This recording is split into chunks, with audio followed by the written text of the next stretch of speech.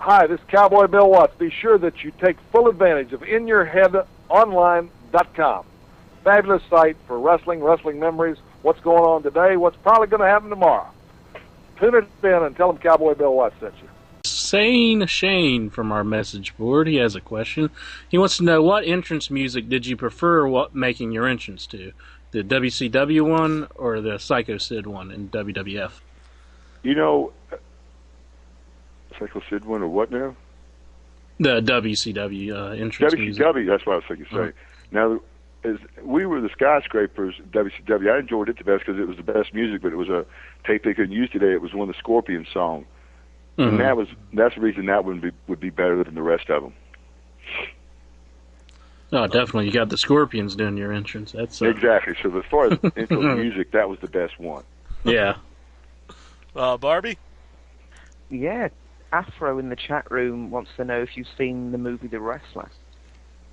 No, I haven't. I got the just got the um, DVD the other day from a friend of mine and left at his house. So I haven't seen it, but I want to watch it. I've seen the trailers to it. Unfortunately, the trailers didn't excite me enough to watch it and go out and get it immediately.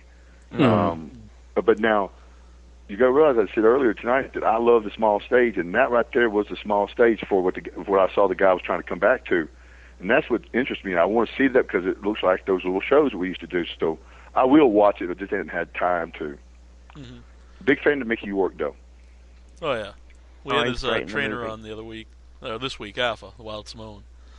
Right. Uh, we get a lot of people calling in who already called in. You can't just keep calling in. You, you call in once, you have a question for Sid. That, that, that's enough. But uh, I was just wondering, uh, you know, today they say a lot, almost all the uh, promos are scripted. Now, would you be like uh, comfortable with that, or were you a guy that you know preferred Well- to do your own? Or I thing is this. I you know I've some of the you know one of the better interviews I did before it was wasn't a long one. It was, was when it was handed me to Vince that I really thought it was you know really thought out well, and it was something I think that really um, at the time it was a perfect interview for the right time for that show, and it was leading up to the big show that, that the Alamodome with me and Shawn, is where I was in that empty arena, and uh, pretty much did word for you know word for word what Vince set out. Now if they were that good all the time, I'd you know sit back and let them do those all the time, but I had the luxury of um, because I keep up a lot of interview material myself. It's something I'm prepared with. Uh, I'm always going to be prepared with, and I think anybody knows me, even Vince will say, you know, yeah, this guy knows his interview. So they let me, they look, had me look at one say, do you like this or what do you think? And if I had one better, they let me do mine. But you know, if you can, cut, you know, uh, man, I'm telling you, that was to me one of the better interviews I did, and it was laid out perfect. So if they come up with things like that, I'd say that would, would you know, I, they do that job and do, you know, that's what I let them do it. But I think um, a lot of times myself will have something good to say too. So, and I think they'll listen to it. um, I don't know if you're uh, you're aware the Hall of Fame is this weekend. Uh, do, do you follow that? The WWE. no, I don't. I don't. Uh, just uh, one of the guys who's uh, being inducted is Bill Watts. I don't know if you ever had a chance to work with him. Maybe you didn't. Uh, Well, I, I, just a short stint, man. I've got man a lot of respect for Bill Watts. Um, I think he's one of the smartest guys in this business too, right there in the top ten of all the smartest people in this business. Um, um, I just I learned a lot from the guy as far as watching him, and how he did things, and uh, um, I use some of those same deals in my matches today. So I think he's a really smart guy. He's a great um, as far as like creating heels and stuff. I don't think there could probably be many better people other than Ole Anderson than he is at making a heel. So that's why I like those guys like that a lot. mhm Uh, who who would you say like uh, helped you the most to like learn to work as a big man?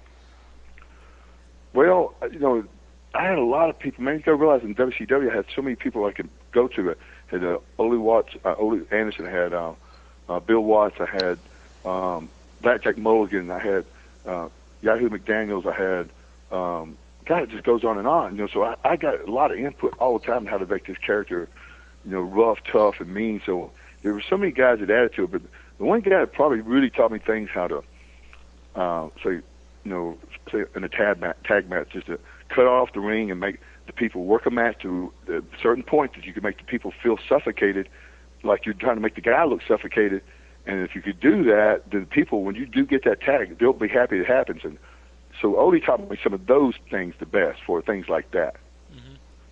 Uh, Ole's definitely a guy like some people, uh, you know, say a lot of good things about him, and some people don't like him at all. But you seem Well, like somebody who's, uh, you know, you got along Well, with. the thing is, this is this, and I don't know who said these things, but the thing about Ole is this: if you're a type of person that doesn't want to know the truth, then you don't like Ole Anderson. Okay.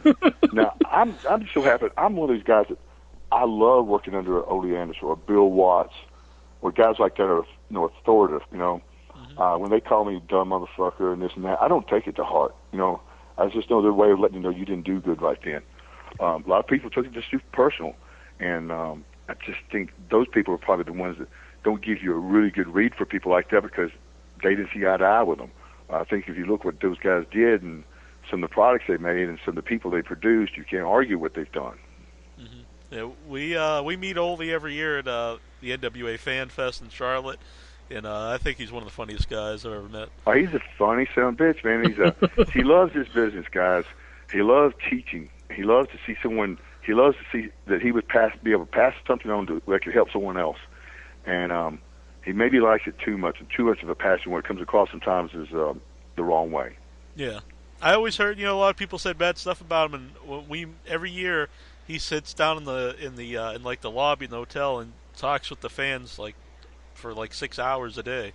hmm Right. He's just a really nice guy, really. He But, is uh, a good guy, man.